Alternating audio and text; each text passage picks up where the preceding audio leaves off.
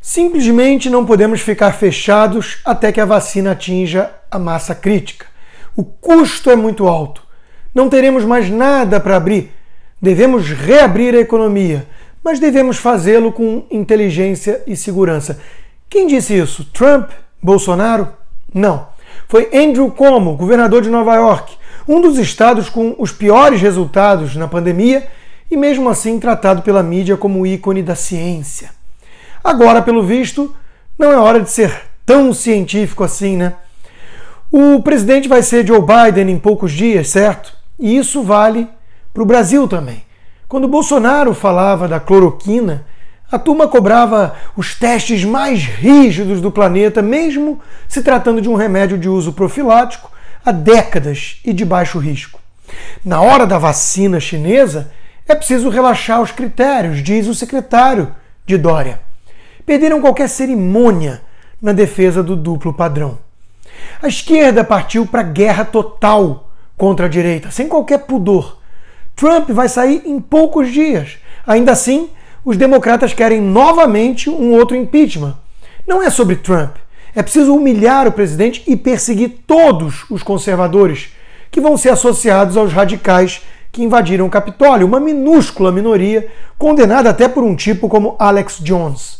É uma narrativa canalha, ponto. A suspensão da conta do presidente americano já é algo bizarro, assustador. Mas a perseguição das big techs ao Parler é algo que deveria dar calafrios em todos nós e despertar de vez os liberais que repetem que basta mudar de plataforma.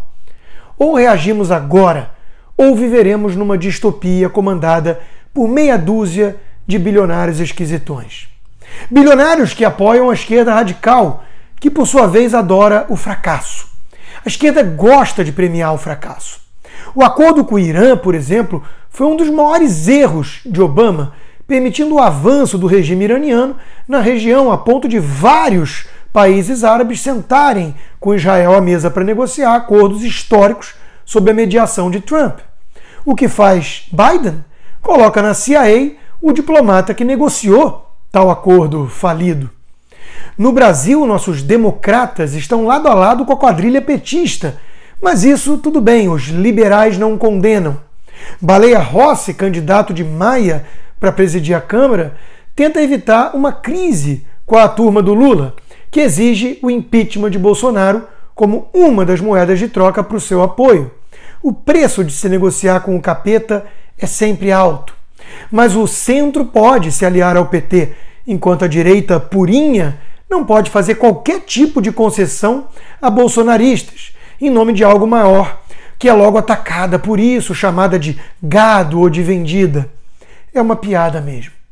Tudo isso expõe de forma muito clara a hipocrisia dos democratas e liberais, representantes do sistema, do establishment, do deep state que declarou guerra à direita. E temos que fingir que os golpistas, os autoritários, os fascistas, os que representam uma ameaça à democracia, vêm da direita e não dessa esquerda canalha. Candace Owens tocou no ponto. Se você ganhou legitimamente 80 milhões de votos e foi realmente o presidente americano mais popular de todos os tempos, por que precisaria censurar as vozes dos seus oponentes políticos e de metade do seu país? Risos. O mundo não está sendo enganado por esse absurdo, muito menos os americanos. Diante de tanta contradição e incoerência, só mesmo tentando calar a direita para manter alguma aparência de normalidade nesse espetáculo medonho. Daí o esforço da mídia mainstream em se vender como imparcial contra uma direita que espalharia fake news. E tem até estudo para mostrar a importância dessa mídia, está na Folha, dizendo a constatação geral do estudo foi que leitores com acesso a veículos como a Folha tendem a acreditar menos em informações falsas. Conto eu ou contam vocês? Dá vontade de rir, eu sei, mas precisamos reagir. É hora de união de todos aqueles que lutam para preservar as liberdades básicas contra fascistas vermelhos, contra democratas totalitários, contra a esquerda em geral. Deixemos nossas diferenças e picuinhas de lado, pois o que está em jogo aqui é muito, mas muito maior.